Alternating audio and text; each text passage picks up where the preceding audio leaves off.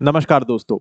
UPSC syllabus की महत्व को समझने के लिए आज की इस वीडियो की शुरुआत मैं दो सवालों के साथ करना चाहता हूँ और ये दोनों ही सवाल पास्ट ईयर क्वेश्चंस है। आपके स्क्रीन में दो सवाल दिख रहे होंगे, मैं आपको थोड़ा समय देना चाहता हूँ।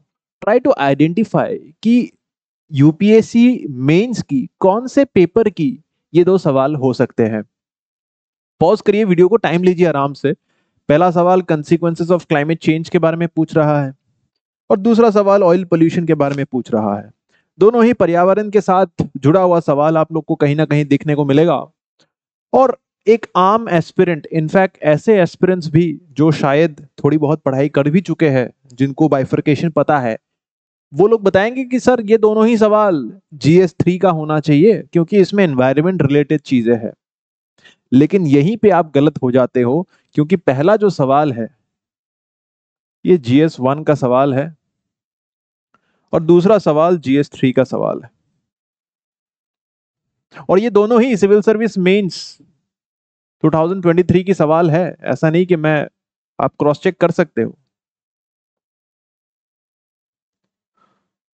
तो दोस्तों, अगर आप लोग आइडेंटिफाई कर पा रहे हो तो अच्छी बात है। आप लोग को और भी कई सारी ऐसे एग्जाम्पल्स के साथ मैं समझाने की कोशिश करूँगा each and every keyword of the examination syllabus जिसके माध्यम से अगर आपका सपना भी यूपीएससी क्रैक करने का है, अगर आपका सपना भी इन सभी सर्विसेज़ में दाखिला लेने का है, ये भी पता होना चाहिए कि कुल 21 सर्विसेज़ है जिसकी आप अप्लाई या एप्लीकेशन भरते हो यूपीएससी को जब आप लोग अप्लाई करते हो। तो ये group A services group B services इन सभी सर्विसेज़ काफ़ी प्रेस्टिजियस सर्विसेज़ है I S I F S I P S ये तीनों को या फिर पहले चार पाँच को सब लोग जानते हैं। डेनिक्स का नाम कोई नहीं जानता डेनिप्स का नाम कोई नहीं जानता, या फिर यू नो पोस्टल सर्विसेज़ के बारे में है रेलवे सर्विसेज़ के बारे में है तो इन सभी प्रेस्टिजियस सर्विसेज़ में जाने से पहले थोड़ा मेहनत आपको सिलेबस की डॉक्यूमेंट में भी करना होगा, ताकि आपको सही मायने में मालूम पड़े कि एग्जैक्टली exactly कीवर्ड क्या है और कौन सा पार्ट सिलेबस का कहा फॉल इन करता है ताकि आप लोग, देखिए सिलेबस का इंपॉर्टेंस अगर मैं समझाऊं if I am to talk about the syllabus आप बोलोगे, सर, ये तो बेकार की काम है, क्या फ़ायदा सिलेबस जान के? देखिए, सबसे पहली चीज़ आप पढ़ाई कैसे करते हो? You do the static study of books चाहे लक्ष्मीकांत हो डी बासु हो, जो भी हो। स्पेक्ट्रम इंडिया हो या एसपीएम के नोट्स हो और दूसरा करंट अफेयर्स अगर आपको ये ही नहीं मालूम कि मेंस के कौन से पेपर के लिए मैं ये वाला आर्टिकल रेलिवेंट है, मैं जो पढ़ाई कर रहा हूँ या कर रही हूँ, ये वाला आर्टिकल कहाँ पे मैं अप्लाई कर पाऊँगा? In which paper of mains और आजकल सवाल मैं कुछ और सवाल भी दिखाना चाहूँगा। इनफैक्ट आप 2023 की पेपर को खोल के देखिए। सवाल काफ़ी मल्टी डायमेंशनल आता है। जैसे ये सवाल आप पूछोगे, सर, ये तो क्लाइमेट चेंज का सवाल है जीएस वन में कैसे आ गया? देखिए दोस्तों, आप second part of the question को पढ़ेंगे discuss the consequences of climate change on the food security in tropical countries food security का एंगल ट्रॉपिकल कंट्रीज़ के बारे में पूछी जा रही है। तो भारत के अलावा वर्ल्ड ज्योग्राफी ज्योग्राफी का भी यहाँ पे एक एप्लीकेशन आपको देखने को मिलेगा। और ज्योग्राफी कम्स अंदर जीएस वन तो इस तरीके के अप्लाइड इंटर रिलेटेड चीज़ें एनवायरमेंट का एस्पेक्ट आपको बिल्कुल ज़ाहिर से जान डालना पड़ेगा यहाँ पे। बट इसके साथ साथ ज्योग्राफी की कंसेप्ट भी आप डालेंगे। सोसाइटी की कंसेप्ट भी आप डालेंगे। एग्रीकल्चर का कंसेप्ट आप डालेंगे। तो subjects and questions have become more and more multidimensional एक डिसिप्लिन एक सब्जेक्ट रिलेटेड कुछ सवाल यूपीएससी में आजकल कम ही देखने को मिलता है। और ऐसा, ये सिर्फ़ एक उदाहरण है। उसी साल के पेपर में मैं दस ऐसे और उदाहरण निकाल सकता हूँ।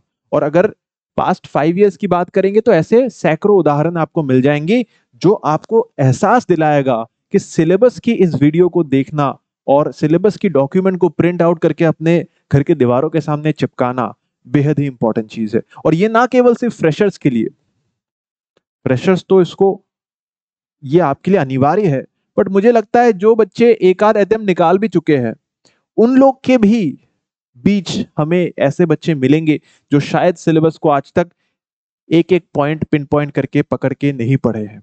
तो फ्रेशर्स ज़रूर से आप लोग को मेरी पूरी भरोसा है इसमें कि आपको फ़ायदा मिलेगा। But if you are a repeater अगर आपकी एग्ज़ाम क्रैक होने में दिक्कतें आ रही है तो शायद सिलेबस जो कि सबसे फाउंडेशनल स्टेप होता है आपकी इस जर्नी का, उस चीज़ में कहीं आप गलती ना कर बैठे हैं। और चलिए अगर आप गलती किए भी हो इट्स नेवर टू लेट ठीक है? बेटर लेट देन नेवर चलिए स्टार्ट करते हैं सिलेबस की इस पढ़ाई को, इन सभी सर्विसेज़ जो भी आपका ड्रीम सर्विस है, इसमें दाखिला लेने की कोशिश करते हैं। देखिए एग्ज़ाम पैटर्न को अगर हमें समझना है, सबसे पहले प्रिलिम्स होगा। उसके बाद मेंस होगा इंटरव्यू होगा इतना तो सबको पता है। बट डू वी नो कि प्रिलिम्स में से कितने बच्चे मेंस लिखेंगे? अगर आप पूछते हैं कि सर कितने बच्चे प्रिलिम्स के लिए फॉर्म भरते हैं, दस से ग्यारह लाख बच्चे प्रिलिम्स के लिए फॉर्म भरते हैं, उसमें से पाँच से छह लाख लोग ही जाके अपियर करते हैं, बाकी सब एबसेंटीज होते हैं। और ये प्रिलिम्स में से जो पाँच छह लाख बच्चे लिखते हैं, उसमें से कितने लोग मेंस में अपियर करेंगे? डू यू नो इसका एक रेशियो है दोस्तों। और मैं ये सारा चीज़ ऑफिशियल नोटिफिकेशन के द्वारा दिखाना चाहता हूँ।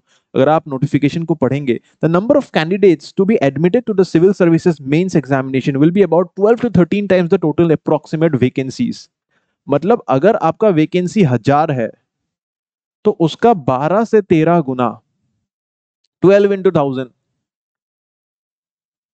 या फिर 13 इंटू थाउज़ेंड तो डिपेंडिंग ऑन द वैकेंसी करीब करीब बारह हज़ार से तेरह हज़ार लोग, अगर हज़ार वैकेंसीज है तो आपकी मेंस लिखेंगे। आजकल हज़ार वेकेंसी से नीचे ही आता है मोस्ट लास्ट फाइव इयर्स की ट्रेंड अगर देखे, देखा जाए तो आपके करीब करीब दस हज़ार लोग जाके मेंस के लिए एलिजिबल होते हैं।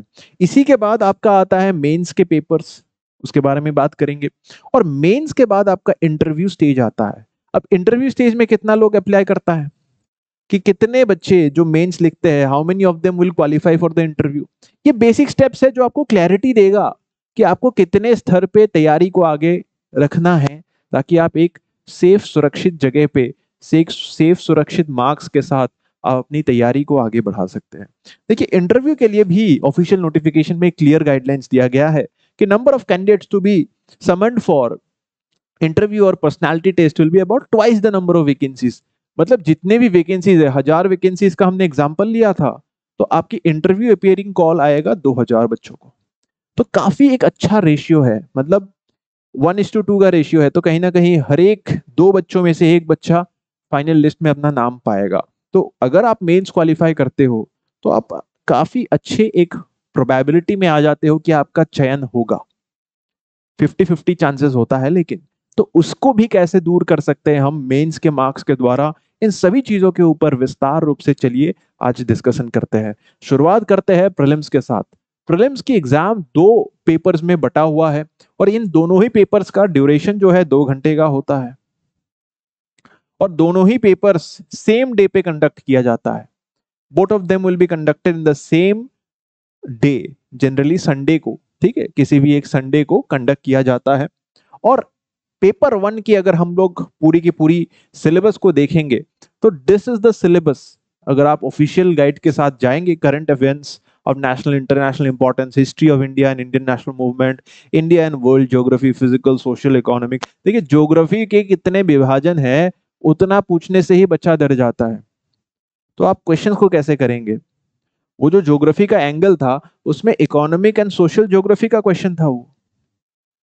That question had an angle for social and economic geography but social economic geography human geography हम लोग पढ़ते ही नहीं है do you know there are NCRTs for human geography economic geography class 12th में we only read class 11 physical geography but class twelve geography हम लोग पढ़ते ही नहीं है तो इन सभी चीज़ों को कब पढ़ोगे व्हेन विल यू रियलाइज़ कि दैट बुक इज़ इंपॉर्टेंट बोला नहीं जाता है सब लोग माजिद हुसैन उठा लेंगे डायरेक्टली गौचेंग लियोंग उठा लेंगे all those books after reading that we have realise कि क्वेश्चंस फिर भी इकोनॉमिक सोशल ज्योग्राफी से आते हैं।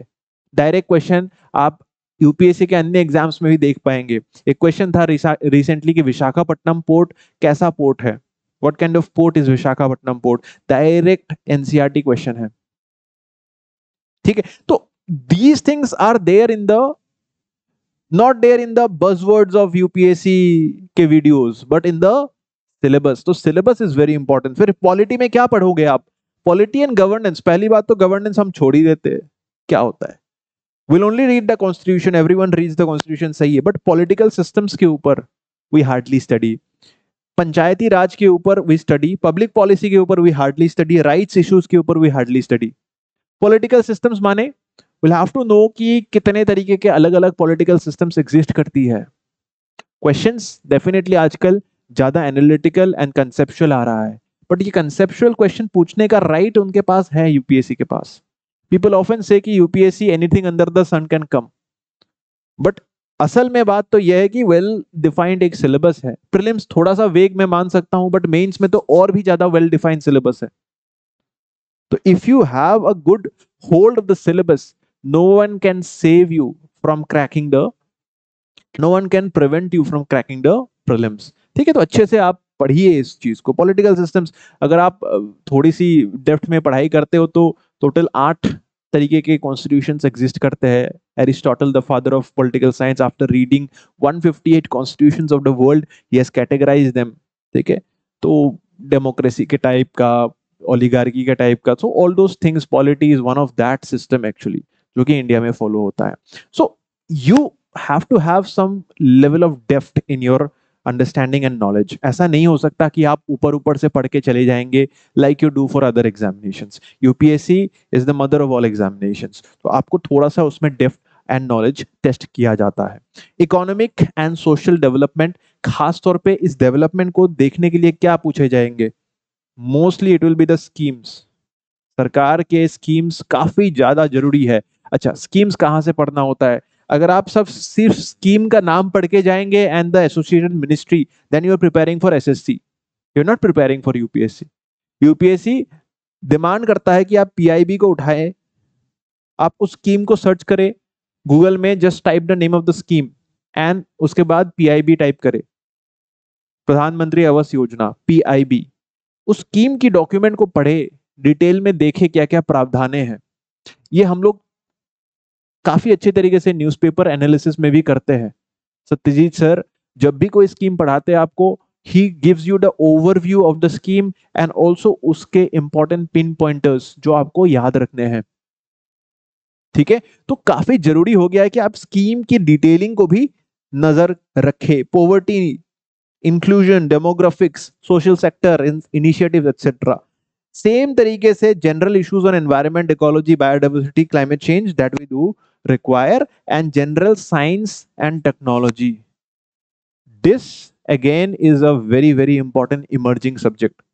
Science and technology इसलिए इंपॉर्टेंट हो गया है क्योंकि आजकल की मॉडर्न जमाने में there is rapid growth in the technological sphere और इसी के साथ एक ब्यूरोक्रेट को, एक सिविल सर्वेंट को बहुत ज़रूरी हो गया है कि आप अपकमिंग टेक्नोलॉजीज़ के साथ अपने आप को अपडेटेड रखें ताकि upcoming administrative scenarios crime scenarios criminals को पकड़ने में या फिर एडमिनिस्ट्रेटिव मशीनरी को अपडेट रखने में आप सक्षम हो। और इसी वजह से आपको साइंस एंड टेक्नोलॉजी के क्वेश्चन इतने देखने को मिलते हैं।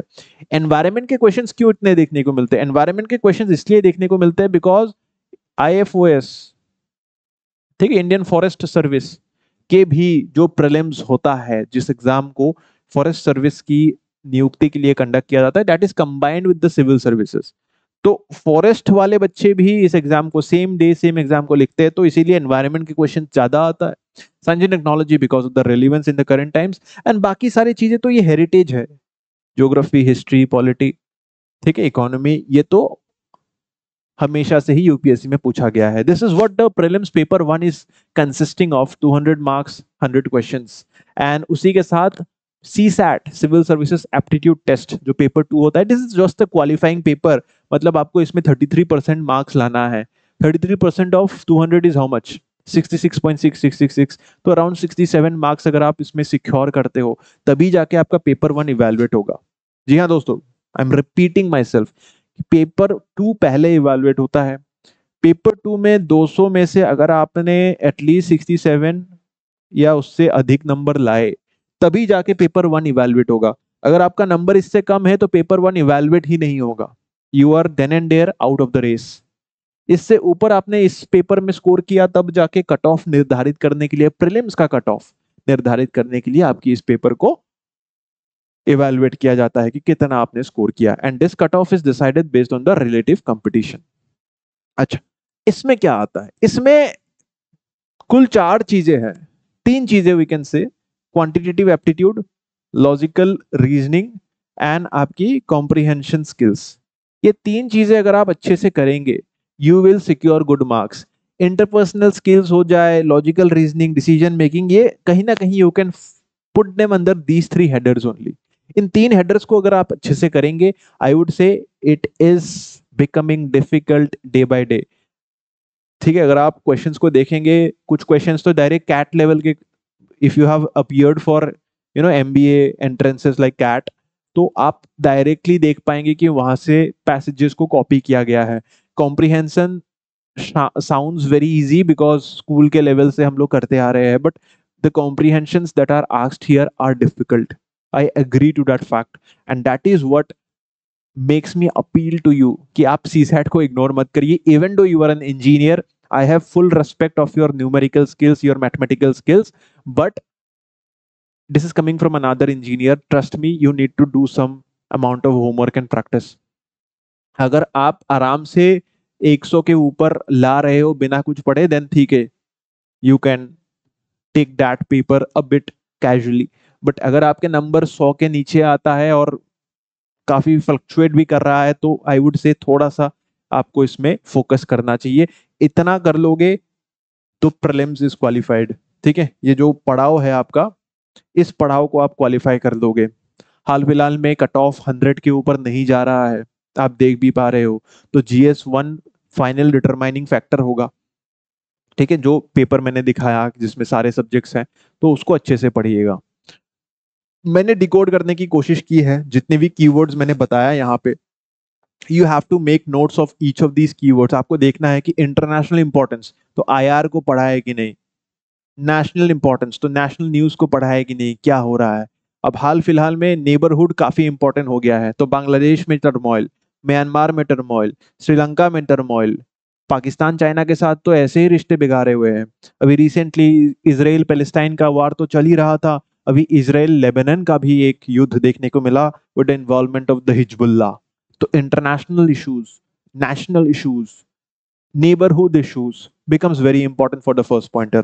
Second pointer में इंडिया एंड नेशनल मूवमेंट तो काफ़ी ज़रूरी होता है जो स्टैटिक चीज़ें हैं नेशनल मूवमेंट की बिल्डअप से लेके formation of Congress in 1885 and उसके बाद से सेफ्टी वल्व थ्योरी की यू नो प्रोपगेशन के साथ कांग्रेस फॉर्म होता है and then how entire you know incoming of Gandhi Swadeshi movement in 1905-6 ठीक है Bengal partition incoming of Gandhi 1915 फिर चंपारण, खेरा, अहमदाबाद, ठीक है Rowlatt all those events non cooperation civil disobedience quit India movement अच्छे से आपको, क्योंकि लिखा गया है नेशनल मूवमेंट में आपको स्ट्रेस करना है। ज्योग्राफी पॉलिटी मैंने डिस्कस किया था briefly geography by that question polity by the political systems and then economic development schemes के द्वारा environmental issues and science and technology तो please pay special attention to these इसके बाद दोस्तों मेंस का पड़ाव आता है. Let's hope that all of you qualify the prelims and उसके साथ ही मेंस का आपका दौर स्टार्ट होता है. अब मेंस में यूपीएससी में थोड़ा डिफरेंट है. Most of you probably are preparing for state public services commission ठीक है एपीएससी के लिए तैयारी करते हो. बट मेंस में यहाँ पे एक एक्स्ट्रा आपको चीज़ देखने को मिलेगा. That is the qualifying language papers अब ये दो पेपर होता है दोस्तों. इसमें पेपर ए और पेपर बी क्या है? Paper B is mandatorily English or paper A is one of the Indian languages to be selected by the candidate from the languages in the 8th schedule. तो 8th schedule में आपको पता है 22 हमारे official languages है। उसमें से कोई भी लैंग्वेज चूज़ कर सकते हो। Assamese is also there if you are from Assam you can choose Assamese ठीक है?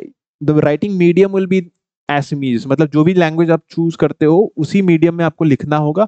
And this is just qualifying in nature these two papers will not be counted for merit merit में ये count नहीं होगा।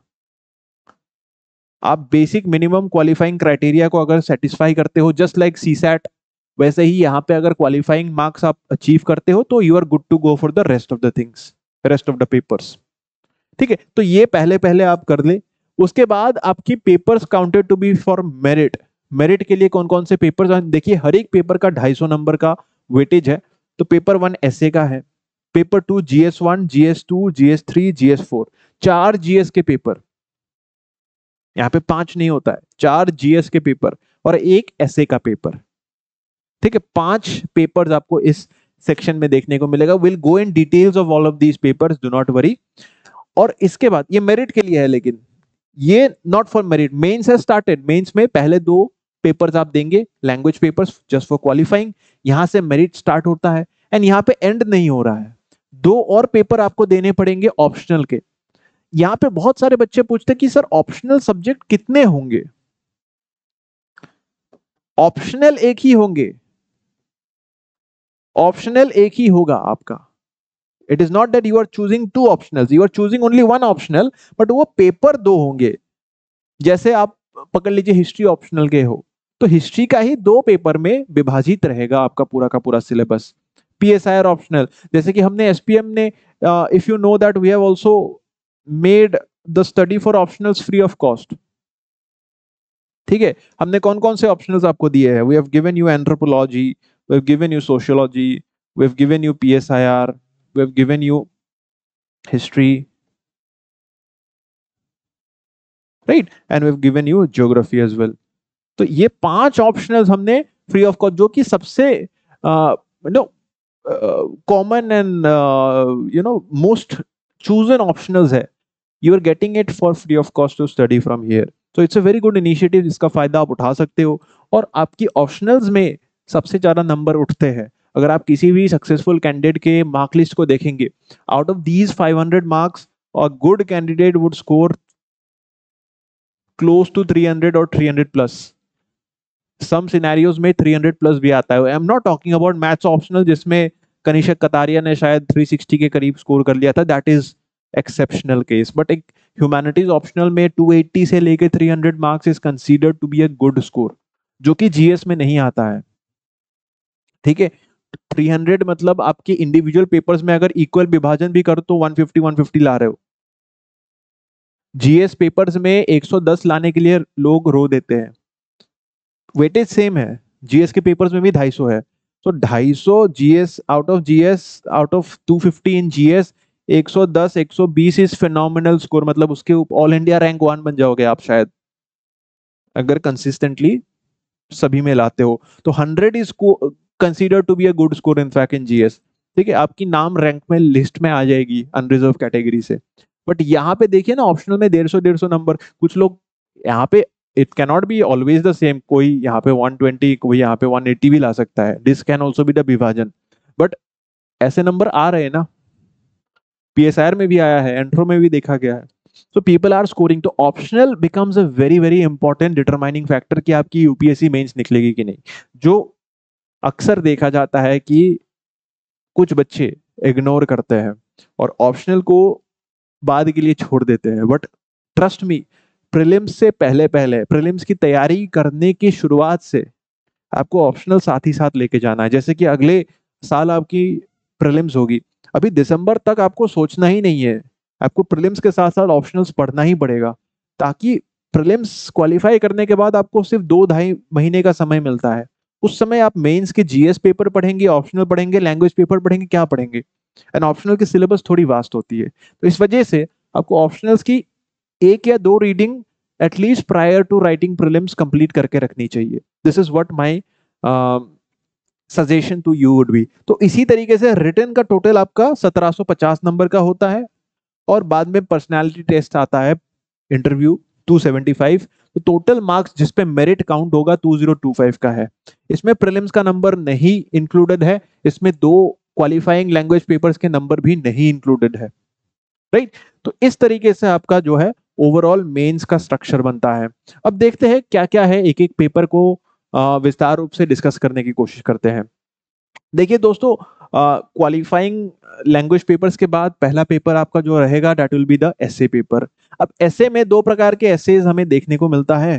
पहला ऐसे आता है philosophical essay state is like the march of God on earth ऐसा एक कोटेशन दे दिया एक्सप्लेन करो। जस्ट एक्सप्लेन डू और दाई कोटेड स्टेटमेंट एक्सप्लेन करो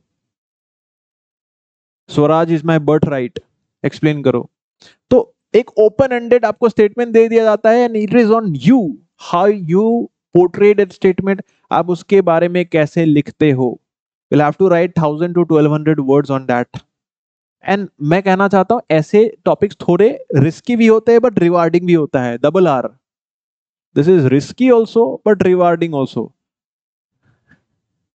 ये वो फुल टॉस बॉल है जिसको अच्छे से आप हिट करोगे तो छक्का आएगा और अगर आप थोड़ा सा अपर एज लग जाता है तो कैच हो सकता है बाउंड्री में। तो you should be very careful on choosing the rational कि किस फ्लो के साथ आप आगे, आगे बढ़ेंगे। और बाद में क्या कंक्लूजन निकल के आएगा? और कैसे आप इसको मल्टी डायमेंशनल करते हो? जो इशू स्पेसिफिक ऐसे होता है, ये थोड़ा सेफर होता है बट लेस रिवार्डिंग भी कहा जाता है, कहा जाता है। It is not always true जो मैं कह रहा हूँ it is not a thumb rule for every one it is just like what we have seen through our students ठीक है? तो जब दिल्ली में मैं था तो बहुत बच्चे ऐसे टॉपिक्स को अवॉइड भी करना चाहते हैं। देर आर ऑप्शन एक्चुअली ऐसा नहीं कि दो क्वेश्चन है, दोनों ही लिखना है। There will be four in the section A there will be four in the section B तो उस आधार पे आप you can choose only two of them one from each section तो आसानी से कुछ बच्चे ऐसे टॉपिक्स को अवॉइड भी करते, कुछ लेते भी थे टॉपिक्स को. और 250 नंबर का पेपर है तो 125 125 दोनों में नंबर इक्वली डिवाइडेड है. तो इसमें इशू स्पेसिफिक मतलब वुमेन इश्यूज़ कुछ, ये इसीलिए कुछ बच्चे चूज़ करते हैं क्योंकि द थीम्स आर डिसाइडेड या तो वुमेन स्पेसिफिक इशू होगा या एनवायरमेंट स्पेसिफिक इश्यूज़ होगा, या सोसाइटी स्पेसिफिक इशू होगा टेक्नोलॉजी स्पेसिफिक इशू होगा, ठीक है? या फिर some current event current event based issue तो कुछ ऐसे ही छह सात थीम्स है जिसके ऊपर आपकी पूरी की पूरी ऐसे डिवाइडेड होगी। और इन थीम्स को आप अगर तैयार करके जाएँगे, पहले से आप quotations data facts you know रट के जाते हो तो आप जस्ट रिप्रोड्यूस कर सकते हो, उसमें डायमेंशंस को ऐड करना होता है। तो वो सब सिखाया जाता है फाउंडेशन क्लासेस में आप आ सकते हो, जिसमें we teach you from the very basics कि कैसे एक ऐसे को आप हैंडल करेंगे। But this is what you will prepare yourself for और इसीलिए मैं कहना चाहता हूँ कि एडिटोरियल एनालिसिस काफ़ी इंपॉर्टेंट होता है। जो भी न्यूज़पेपर्स में एडिटोरियल आता है learn the art of writing कि कैसे सी राजा मोहन एक एडिटोरियल को लिखता है। अब जब सी राजा मोहन मैं बता रहा हूँ यू शुड नो कि किस तरीके का आर्टिकल वो लिखते हैं। स्ट्रेटेजिक इश्यूज़ में लिखते हैं डिफेंस के इश्यूज़ में लिखते हैं इंटरनेशनल के इश्यूज़ में लिखते हैं, किस तरीके के इश्यूज़ में वो लिखते हैं। You should be very very careful in that ठीक है, सुहासिनी हैदर, सी राजा मोहन हैप्पी मोहन जेकब, ये सारे कंटिन्यूसली मतलब these are the most common writers of Hindu Indian Express तो ये पढ़ पढ़ के हम लोग को रट गए हैं हम लोग इनके नाम। आप अगर बोलोगे कि सी राजा मोहन ने इसके ऊपर लिखा है हैप्पीमन जेकब ने इंडिया पाकिस्तान के ऊपर लिखा है तो मैं बता दूँगा कि हैप्पीमन जेकब अगर इंडिया पाकिस्तान के ऊपर लिख रहा है तो सीज फायर वायलेशन उसमें रहेगा। Because Happymon Jacob professor Happymon Jacob JNU के प्रोफेसर है, वो जाके रहे हैं सीज फायर वायलेशन को खुद एक्सपीरियंस करने के लिए।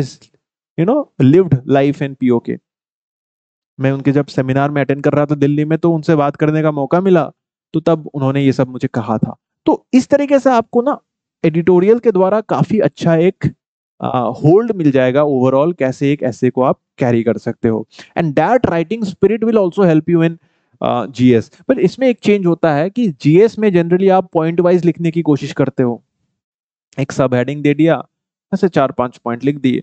बट इसमें generally students prefer writing paragraph wise क्योंकि लंबा लिखना होता है, हज़ार से बारह सौ वर्ड आपको लिखने होंगी। तो एक फ्लो होना चाहिए and that coherence is very important कि आपके एक दूसरे पैराग्राफ आपस में कितना जुड़ाव रखते हैं। तो इस चीज़ के ऊपर प्रैक्टिस और डिस्कशन ज़रूरी है। मैं एक वीडियो में सारा चीज़ तो आपको नहीं बता पाऊँगा बट ज़रूर से कोशिश है कि आप अगर इतमान से सुन रहे हो तो फ़ायदा भरपूर मिलेगा। अगला आता है आपके जनरल स्टडीज़ के पेपर तो चार पेपर होते हैं, मैंने बताया था। तो पेपर वन में पेपर टू में पेपर थ्री और पेपर फोर ये ब्रीफली मैंने बताया है। पेपर वन में आप देखेंगे heritage culture art and culture culture यहाँ पे आएगा। पूरा का पूरा हिस्ट्री आएगा ancient medieval modern world history बहुत लोग पूछते हैं। एक या दो सवाल आता है, कुछ सालों से नहीं भी आया है। बीच में पूछ भी लिया जाता है। बहुत लोग इग्नोर भी करते हैं। आपके ऊपर है। मैं कहना चाहता हूँ कि वर्ल्ड हिस्ट्री को लास्ट तक रखे। पहले जो लो हैंगिंग फ्रूट्स है, जो श्योर है श्योर शॉर्ट है ज्योग्राफी आएगा ही सोसाइटी आएगा ही तो उसको पढ़ लीजिए। उसके बाद समय बचता है तो आप बिल्कुल से उसको भी वर्ल्ड हिस्ट्री को भी कवर करें। उसके बाद GS two governance constitution welfare initiatives social justice international relation तो पॉलिटी आईआर एंड गवर्नेंस का पेपर इसको माना जाता है। पहले पेपर को art and culture history geography and आपकी सोसाइटी के पेपर मानी जाती है। Third paper technology economics environment agriculture science and technology and internal security ठीक है? जो काफ़ी ज़रूरी होता है। सिक्योरिटी में एक क्वेश्चन आपको मिलेगा ही मिलेगा। चाहे लेफ़्ट विंग एक्सट्रीमिज्म का क्वेश्चन हो नॉर्थ ईस्टर्न इश्यूज़ के बारे में हो डिजास्टर मैनेजमेंट के बारे में हो। And last but not least ethics integrity and aptitude इसके बारे में भी मैं बताऊँगा एक एक करके चलिए देखते हैं। तो जीएस वन के लिए कल्चर आप पढ़ेंगे आर्ट फॉर्म्स को पढ़ेंगे। I have decoded a shorter version of the official syllabus official syllabus देखेंगे, काफ़ी वास्ट है। बट मैंने की पॉइंटर्स को यहाँ पे नोट डाउन किया है। इस, इसीलिए पीपीटी को ध्यान से आप नोट डाउन करें। ठीक है आर्ट फॉर्म्स को आप देखेंगे। मॉडर्न इंडियन हिस्ट्री को आप देखेंगे। मॉडर्न इंडियन हिस्ट्री खास तौर पे पूछा जाता है questions are there on analytical basis Gandhi versus Ambedkar ideology अब ये मत पढ़ के जाना कि यू नो चंपारण में क्या हुआ था, वो क्या हुआ था। Question will be analytical factual तो आपको पता होना ही चाहिए। But how did the ideology of Ambedkar vary with Gandhi? और सुभाष चंद्र बोस, नेताजी सुभाष चंद्र बोस। तो आइडियोलॉजिकल डिफरेंसेस आपकी ओवरऑल एओ ह्यूम की थ्योरी सेफ्टी वर्ल्व थ्योरी या फिर क्या कांग्रेस का जो निर्माण था, वो भारत के लिए अच्छा था कि खराब था? वो ब्रिटिशर्स का एक ब्लंडर था क्या? राइट तो all those things why did the Britishers initially believe on centralisation tendency but बाद में डिसेंट्रलाइजेशन को उन्होंने लाया through their various councils and government of India act इस प्रकार की चीज़ों के ऊपर ही आप रिसर्च करें। फ्रीडम स्ट्रगल के बारे में तो इसमें आपकी वो सारी चीज़ें गांधीयन मूवमेंट्स हो जाए नेवल इंडियन रेटिंग्स की मूवमेंट हो जाए इंडियन नेशनल आर्मी की मूवमेंट के बारे में म्यूटिनी के बारे में आपको पढ़ना है तो एंड फाइनली जो आपका Muslim League international Congress princely states इन सब का एक कंबाइंड एफर्ट था। पोस्ट इंडिपेंडेंस इंडिया ज़रूरी होता है, इसमें भी पूछा जाता है खास तौर पे आपकी एलपीजी रिफॉर्म्स के बारे में हो जाए एग्रेरियन रिफॉर्म्स के बारे में हो जाए फाइव ईयर जो हमारे प्लान्स थे, उनके बारे में हो जाए तो these kind of bank nationalisation के बारे में हो जाए इमरजेंसी पीरियड की इतिहास के बारे में हो जाए, ठीक है? जनता पार्टी का यू नो अपब्रिंगिंग के बारे में हो जाए तो these kind of things geography of India and world society and diversity globalisation तो ये काफ़ी आप सोसाइटी ओरिएंटेड चीज़ है तो यू शुड नो कि ओवरऑल हमारा कैसा स्टैटिस्टिक्स है। You will need some data for this you should know what is the sex ratio you should know what is the gender uh, diversity in the various cities in the various areas. You should know what is the uh, you know हमारी birth count कितनी है हमारी neonatal infant mortality rates कितना है maternity mortality rates कितना है health indices क्या है। हमारी जो एसर सर्वे रिपोर्ट आता है उसके प्रथम एनजीओ के द्वारा you should know educational statistics कितना है ग्रॉस एनरोलमेंट रेशियो कितना है डॉक्टर टू पेशेंट रेशियो कितना है नर्स टू पेशेंट रेशियो कितना है। डब्ल्यू एच ओ क्या रिकमेंड करता है? ठीक है? तो these kind of things are very very important तो डब्ल्यू एच ओ रिकमेंड करता है कि one is to four hundred nurse to patient ratio है बट इंडिया में कितना है? आर वी फॉलोइंग दिस तो आप अगर बोलोगे कि यहाँ पे इंडिया में नर्स कम है तो that is a valid statement तो you have to give references कि W H O recommended norms ये है इंडिया में ये प्रेवलेंट है. जस्ट बता देना कि डॉक्टर्स बढ़ा दो देश में. That is not the solution you have to give कि कितने डॉक्टर्स है? और ग्लोबल नॉर्म्स गाइडलाइंस क्या है? And how short are we from the guidelines and how is government trying to do that अभी रिसेंटली अगर आपने इंडियन इंडिपेंडेंस डे की स्पीच सुनी होगी जो कि प्रधानमंत्री नरेंद्र मोदी जी ने डिलीवर किया था तो उन्होंने कहा कि करीब करीब हर साल 25,000 doctors go for their MBBS in countries outside India Russia चले जाते हैं यूक्रेन चले जाते हैं मिडल ईस्ट चले जाते हैं एमबीबीएस या एमडी के लिए भी मेडिकल कोर्सेज के लिए। क्योंकि वहाँ सस्ता मिलता है, यहाँ पे सीट नहीं है। तो मोदी जी ने आश्वासन दिया है कि हम लोग सीटों को बढ़ाएँगे। ठीक है? तो इस तरीके के आर्ग्यूमेंट्स को you should be there you should know this kind of facts तभी जाके आपके आंसर अच्छे होंगे। वैसे ही वुमेन सेकुलरिज्म तो नारी शक्ति का तो पूरा का पूरा अभियान चल रहा है। The biggest example you can start with RDC parade republic day celebration जो परेड होता है, उसमें पहली बार भारत में वुमेन लेड कंटीजेंट्स को स्टार्ट किया गया। फुल महिलाएँ कंटीजेंट थी, और जो भी कंटीजेंट्स इंडियन आर्मी की थी सीआरपीएफ की थी बीएसएफ की थी these those were led by women पहली बार भारत के इतिहास में ऐसा चीज़ देखने को मिला। अब उदाहरण दे सकते हो कैप्टन मोहना सिंह राइट तो these kind of examples and statistics will help you better your answers तो वैसे ही मैं हर एक सिलेबस हर एक पेपर uh, के लिए पिन पॉइंटेड आपको पॉइंटर्स uh, लेके आया हूँ। You can just note down जैसे मैंने डिस्क्रिप्टिवली इस पेपर की एक्सप्लेनेशन दी वैसा ही स्टैटिस्टिक्स एंड फैक्ट्स आपको हर एक पॉइंट के लिए बनाना है। You should have a data book एक डेटा बुक आज ही आप बनाना स्टार्ट करें।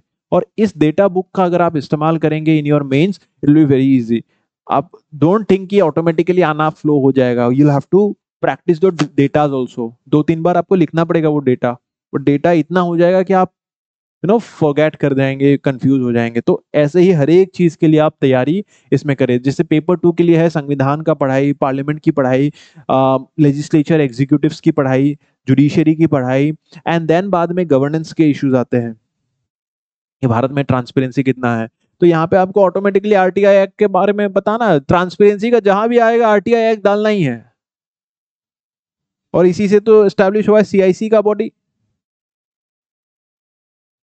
central information commission SIC भी है स्टेट इंफॉर्मेशन कमीशन तो ऐसे रिलेट करना है। ट्रांसपेरेंसी देखा आरटीआई डाला सीआईसी एसआईसी ये जब रेलिवेंस आप डालोगे, तब आपको मिलेगा digital India mission e tender system accountability कैसे बढ़ रहा है? टेंडरिंग ऑनलाइन हो रहा है।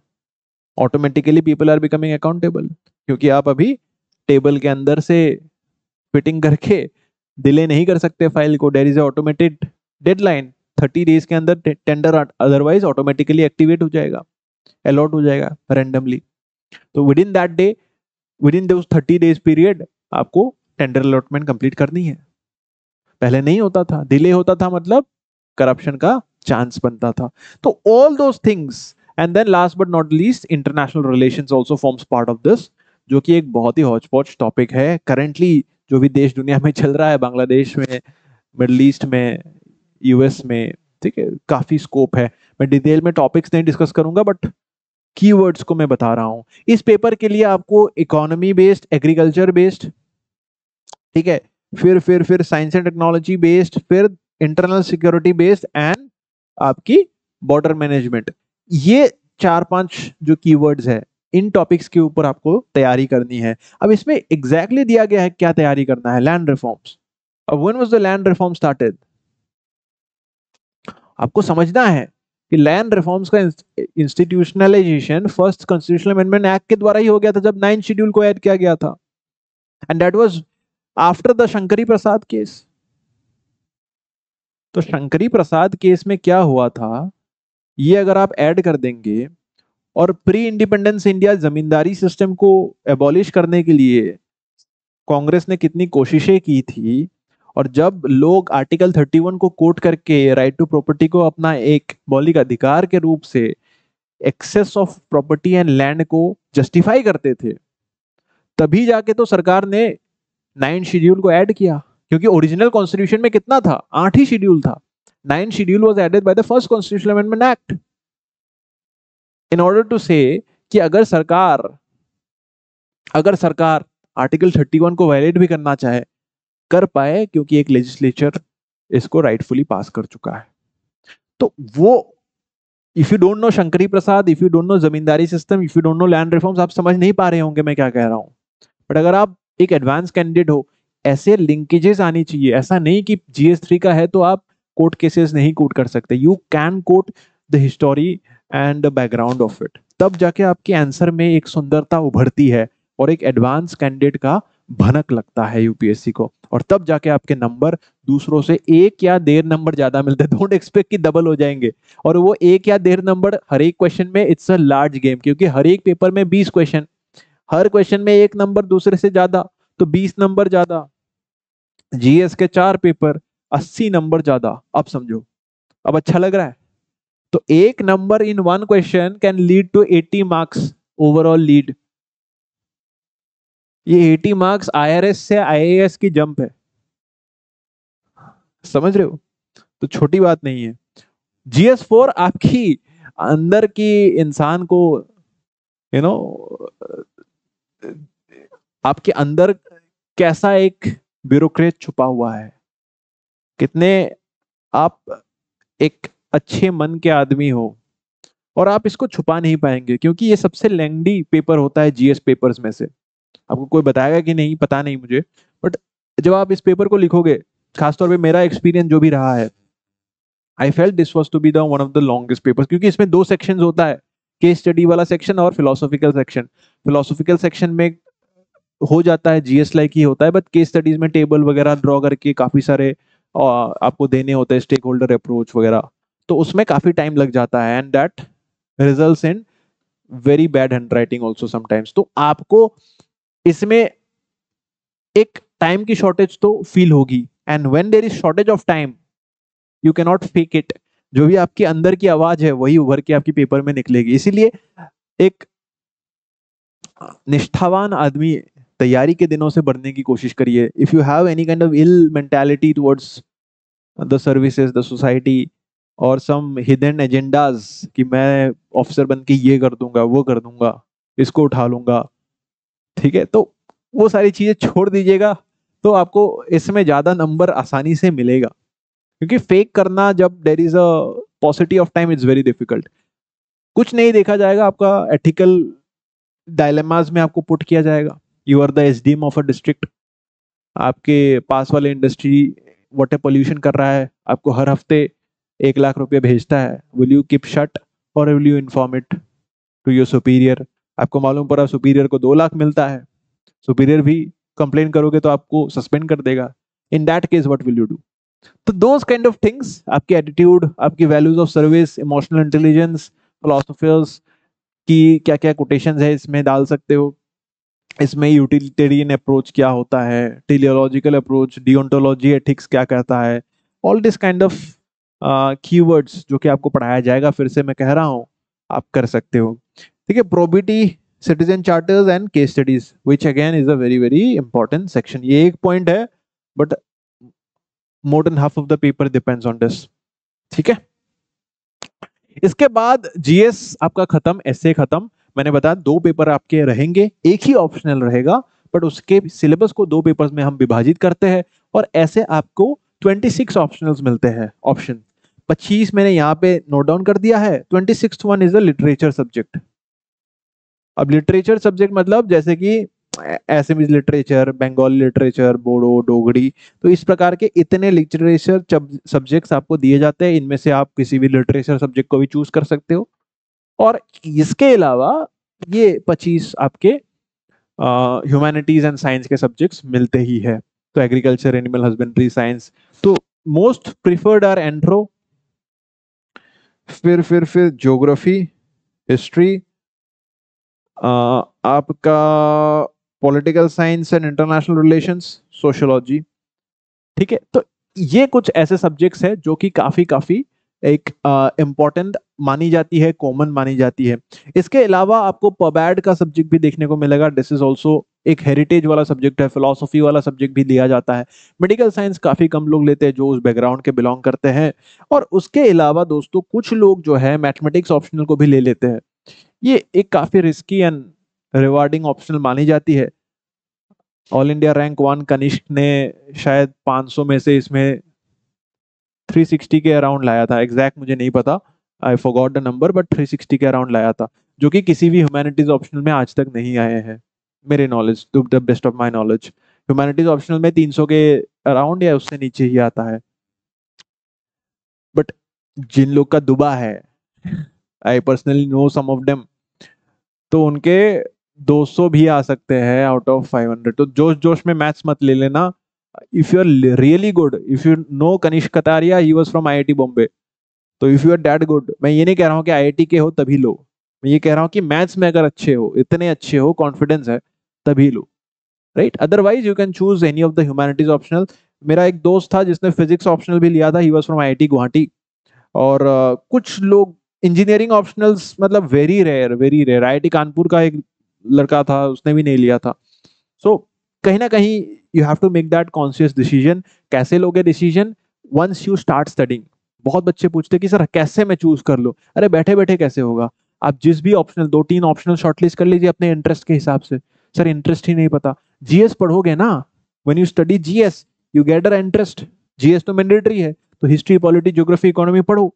एक एक चैप्टर पढ़ोगे, तब मालूम पड़ेगा कौन से सब्जेक्ट में ज़्यादा इंक्लिनेशन मिल रहा है। जिस सब्जेक्ट में ज़्यादा inclination and if it's a common subject जो मैंने टिक किया हुआ है गो फॉर इट फिर ऑप्शनल का दो तीन चैप्टर पढ़ो, मज़ा नहीं आ रहा है, दूसरा वाला पकड़ लो। मज़ा आ रहा है go for it material availability लेकिन देख लेना। जो मैंने टिक किया है, उसमें मटेरियल अवेलेबिलिटी का आपको दिक्कत नहीं आएगा। इनफैक्ट हम तो खुद एसपीएम में पढ़ा ही रहे हैं आपको optional free of cost right तो this is what will land you to the interview अब इंटरव्यू में क्या देखा जाता है? बहुत लोग सोचते हैं कि इसमें एक क्रॉस क्वेश्चनिंग का राउंड होता है जिसमें आपको नॉलेज टेस्ट किया जाता है। But that is the biggest blunder knowledge testing is done my dear friends और ये मैं नहीं कह रहा हूँ। ये देखिए ऑफिशियल पीडीएफ क्या कहता है? The candidate will be interviewed by a board will have before them a record of candidates career depth जो डिटेल एप्लीकेशन फॉर्म होता है, उसके आधार पे आपको आपकी पूरी जन्म कुंडली उनके पास होती है। टेंथ, ट्वेल्थ में क्या किया उससे मतलब from everything father history father की income and everything your job history candidate will be ask questions on the matter of general interest देख रहे हो? कोई एडवांस लेवल की क्वेश्चनिंग नहीं होगी। You will be ask matters on general interest the object of interview personality test is to assess the personal suitability of candidate for a career in public services ये नहीं कि knowledge testing ये देखना है कि आपका जो पर्सनैलिटी है, वो सर्विसेज़ के लिए सूटेबल है कि नहीं। क्या आप अनबायस्ड हो? क्योंकि सरकारें बदलती रहेगी। कांग्रेस के दिन, कांग्रेस के दिनों में कांग्रेस के साथ काम करना, बीजेपी के दिनों में बीजेपी के साथ। तो क्या इतना फ्लेक्सिबल आप हो? या आप एक राइटिस्ट या लेफ्टिस्ट आइडियोलॉजी के आदमी हो? That is what is tested and personality test is intended to judge mental caliber of a candidate and in the board terms, this is really an assessment of not only intellectual qualities, but also social traits and interest. तो कैसे आप entry करते हो? कैसे socially आप हँसते, खिलते हो, मिला, अपने आप को एक कोहेसिव एनवायरनमेंट क्रिएट करते हो उन बोर्ड मेंबर्स के साथ, पहली बार उनके साथ मिलके? How you treat them how you greet them how you enter the room how you sit down how you show your gestures facial hand everything counts ठीक है, सारी चीज़ें काउंट करती है of the qualities to be judged are mental alertness, critical powers of assimilation, clear and logical exposition, and balance of judgment and variety of depth of interest. आपकी interest रुचि, एक रुचात्मक व्यक्ति को सब लोग पसंद करते हैं। आप अगर बोलोगे आपके इंटरेस्ट में, sir my interest is to see Bollywood movies ठीक है it's good but it's a passive hobby active hobby अगर आप रखोगे कि sir I like shooting videos on popular I I like shooting mimicry videos on popular Bollywood movies तो वो passive से आपने एक्टिव कर दिया। सिमिलर है बट डिफरेंट बहुत ज़्यादा है। It shows how eager you are to contribute to the society कुछ कंट्रीब्यूशन एक video is also contribution to the society यार। यू आर एंटरटेनिंग पीपल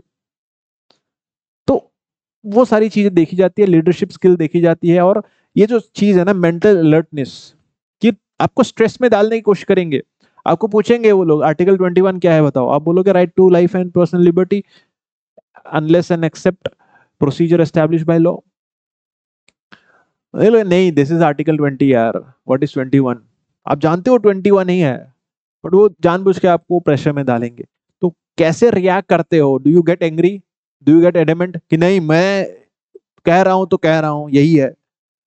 या फिर you humbly reply to them कि sir as per the best of my knowledge this is what I have read but if you are so I will still go and check it out तो उस तरीके की चीज़ें कहीं ना कहीं आपको यहाँ पे देखी जाती है। Will talk about that but this holds a very important chunk देखिए पेपर्स में मेंस के इंडिविजुअल 250 नंबर होते हैं बट इस एक इंटरव्यू में 275 नंबर है।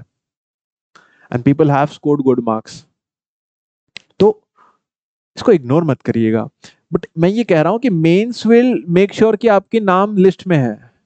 इंटरव्यू विल डिटरमाइन कि आपको आईआरएस मिलता है या आईएएस मिलता है या डेनिक्स मिलता है। वो डिटर्मिनेशन इंटरव्यू कर सकता है। सर्विस एलोकेशन इंटरव्यू से आता है। बट फाइनल नाम आपकी लिस्ट में आएगा कि नहीं, वो मेंस से होता है। तो mains plays a very important role कि you get some job service तो मेंस को करिए पर इंटरव्यू के दौरान तैयारी थोड़ी चेंज होती है। You have to read multiple news paper you have to build a personality you have to build a opinion they will ask opinionated question and you have to be neutral in them कि what do think about the Sheikh Hasina you know flee out from her country how lit affect the Indian regime so think about it push down your answers and if you do everything good you will go you will get a score which is almost around 50% of the total marks, and which is considered to be a good score, and you will be, a serving officer very soon. तो ये था syllabus का video अब इसमें आपके homeworks क्या है? आप प्रिंट आउट लेंगे इसका।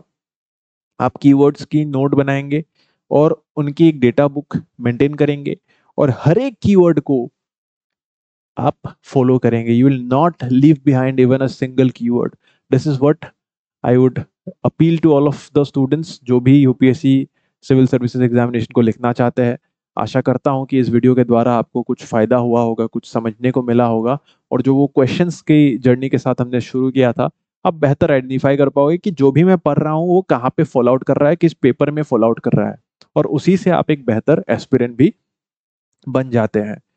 अगर वीडियो पसंद आया वीडियो को लाइक करिएगा चैनल को सब्सक्राइब करिएगा, और अगर आपको कोई भी डाउट है, कुछ भी आप जानना चाहते हो you can leave us a comment and thank you so much for watching. Thank you. Bye bye